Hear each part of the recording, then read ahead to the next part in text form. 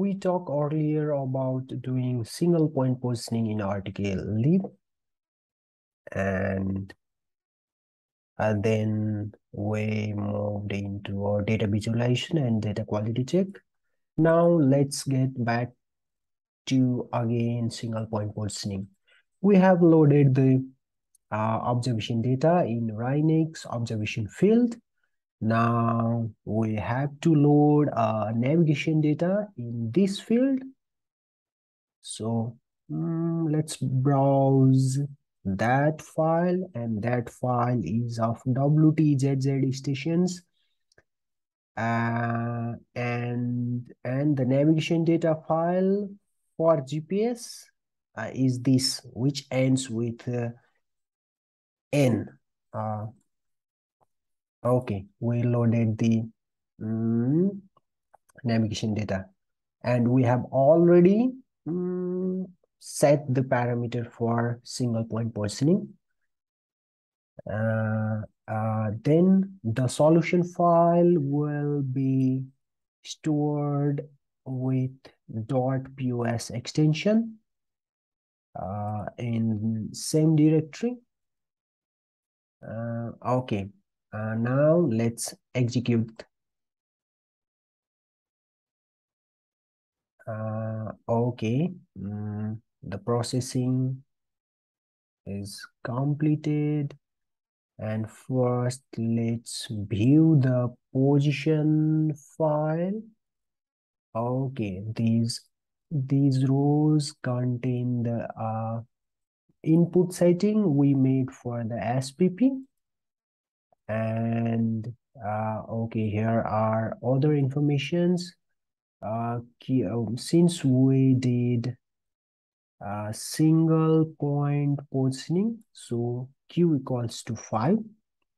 So uh, here is the GPS time for each epoch. The first epoch, the second epoch, and third epoch, and so on.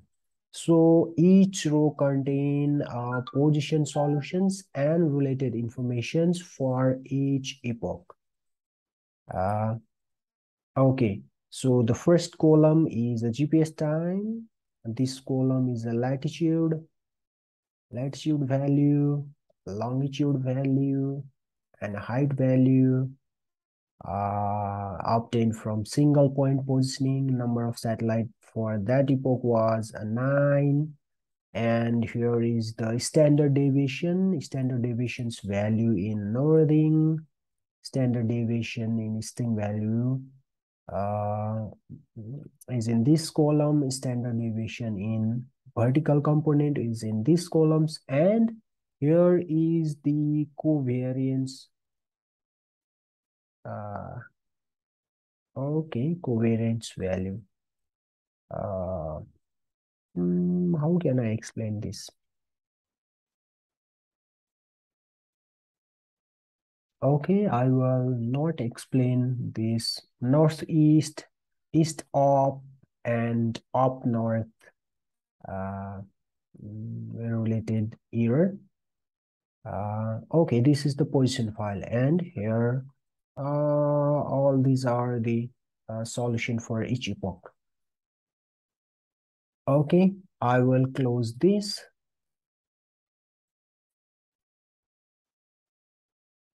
Now let's view the position solution uh, in a plot. Okay, so let's click this plot button. This will launch the RTK plot. Uh, this is the ground track of our solutions. Most of the values are concentrated mm, inside this perimeter and some values are very far from the let's say average. Mm, okay. But what we want to see here is the uh, plot for positioning position uh okay there are three panels. The top panel shows the uh, mm, errors in east-west direction. The mid panel shows error in north-south direction. And the bottom panel shows error in up down direction. Uh, mm -mm. first, let me uh, let me show the statics. Let's show statics.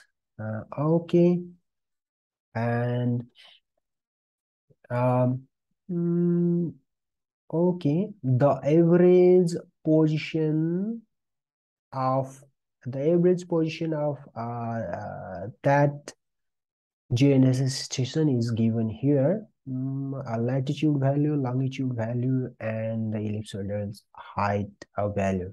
Since we have more than, okay, we have 2879 solutions. Uh, so the average value of the, all those solution is this and this plot shows the um, uh, okay. Deviation of an individual file individual solution with respect to a average of value. Uh, seeing the um, variation of this plot we can see here is the jump. And uh, and the fluctuation is a very high. Um, because the standard deviation uh, okay standard deviation is within a 49 centimeter. In east-west direction and we can see jump here. Uh, okay jump here and a discontinuity here?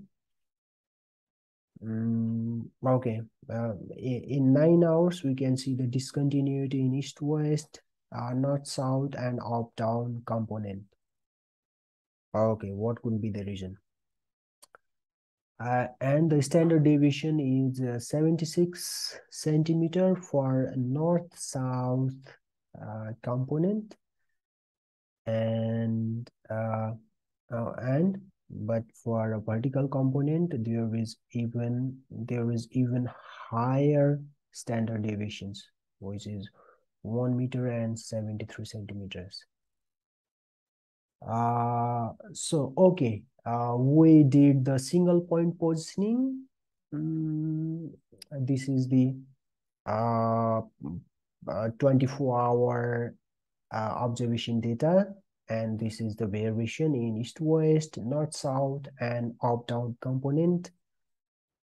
And the standard deviation is shown here Mm, and the average position of that stations obtained from one day GNSS data is this. Mm, that means the mm, most probable position of that stations from 24 hour data from GNSS observations uh, and by performing a single point positioning mode is this